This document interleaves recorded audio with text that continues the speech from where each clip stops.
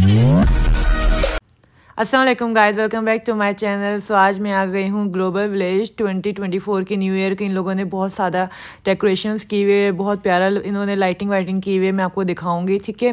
तो मैं जितना एक्सप्लोर कर सकती हूँ, मैं आप लोगों को एक्सप्लोर करके दिखाऊँगी। थोड़ी मैं यहाँ साइड पर झूले आप देख रहे होंगे, ये ताजमहल इंडिया का बनाया हुआ है।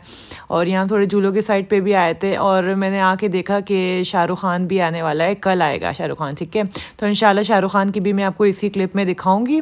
तो खैर तो पहले आज हम आ चुके थे, हमें मालूम नहीं था, हमें आज आके पता चला कि शाहरुख खान कल आएगा, लेकिन कोई बात नहीं, हम इंशाल्लाह कर भी आएँगे। और ये मैंने जैक, स्वेटर पहना हुआ है क्योंकि बहुत ठंड है और मैंने कुछ इस टाइप की ड्रेसिंग की थी।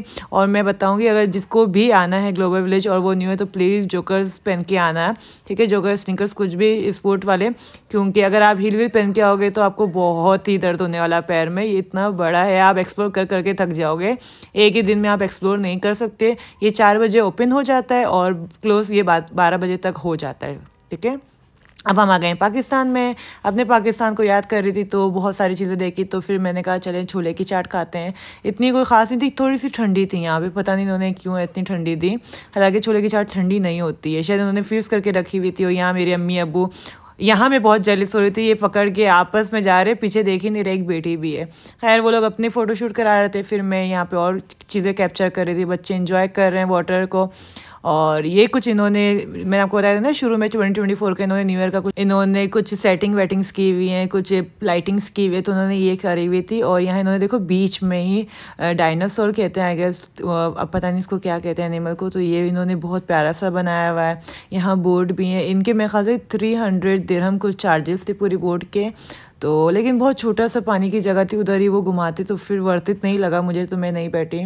और ये ईरान वालों ने भी बहुत प्यारा बनाया। और वो आपको दिख रहा है, वो कितना प्यारा ये इंडिया का है। अब ये मुझे पता नहीं, आप लोग कमेंट में बताना अगर कोई इंडिया से कि ये इंडिया का इन्होंने किस चीज़ से रिजेंबल करके बाहर का पूरा बनाया। मुझे लगता है कोई होटल है इंडिया का, और यहाँ पर आर्ट भी इनके बहुत अच्छे हैं। चूड़ियाँ हैं कपड़े कपड़े तो मुझे पाकिस्तान इनके ऑलमोस्ट सेम लगे सारी चीज़ें।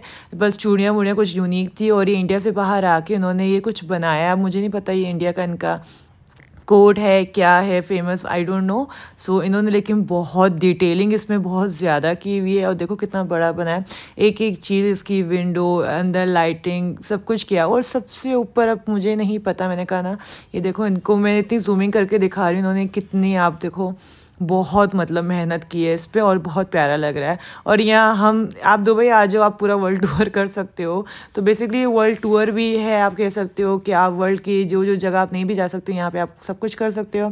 फिर हम थक गए थे तो हम आ गए बुद्धू खान, पाकिस्तान का है खाना वो बहुत मज़ेदार था और ये इतना ज़्यादा था, ये भी बच गया था। बस हम निकलते हैं, हम कल आएँगे क्योंकि कल है हमारे शाहरुख खान और स्पेशली मैं अपनी एक दोस्त को मैं बताऊँगी किरण उसका नाम है वो फ़ैन है शाहरुख ख़ान की तो उसके लिए मैं ज़्यादातर आई थी और ये आगे हमारे शाहरुख ख़ान तो मैंने इस दिन कुछ ज़्यादा रिकॉर्ड नहीं किया था क्योंकि इतना रश था इतना रश था। तो शाहरुख खान पहले आया उसने पहले डांस वांस करे उसके बाद आ, सलाम वलाम किया।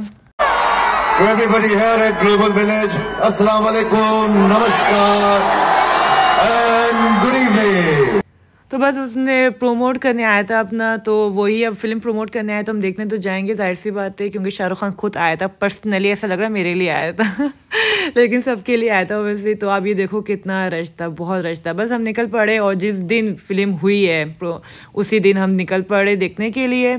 और बस यहाँ पे हमने टिकट लिए टिकट लेने के बाद मैंने सोचा कि अजान हो चुकी थी तो हमने कहा, चलो, नमाज़ पढ़ लेंगे। तो आज मेरे अबू ने भी देखी थी साथ में। मतलब मेरे फादर इतने शौकीन नहीं है। तो बस हम यहाँ पे थोड़ी नमाज़ पढ़ी नमाज़ पढ़ के हम निकल पड़ेंगे क्योंकि हमारे टिकट का टाइम हो चुका था। अब हम जाएँगे सिनेमा की तरफ़। पॉपकॉर्न वॉपकॉर्न कुछ भी नहीं लिया था क्योंकि ना ऑलरेडी खाना खा के आए थे तो हैवी हुआ हुआ था फिर ब्रेक में शायद कुछ ले लेंगे। बस हम निकल पड़ते हैं, मैं आप लोगों को सिनेमा दिखा देती हूँ और ये एक लड़का जा रहा है गाइड करेगा हमें और इतना कोई जगह नहीं भरी थी क्योंकि ये बहुत बड़ा सिनेमा है डलमा का तो अपना ही है और ये इनका गाना शुरू हो गया और आपको पता है कितना फ़ेमस गाना है।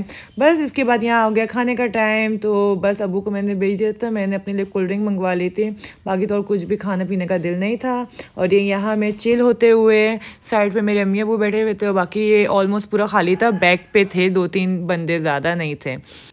बस फिर मूवी इन्जॉय की मूवी बहुत अच्छी थी। अगर आपको वीडियो अच्छी लगे तो लाइक एंड सब्सक्राइब मैं चैनल नेक्स्ट वीडियो मिलेंगे। Bye bye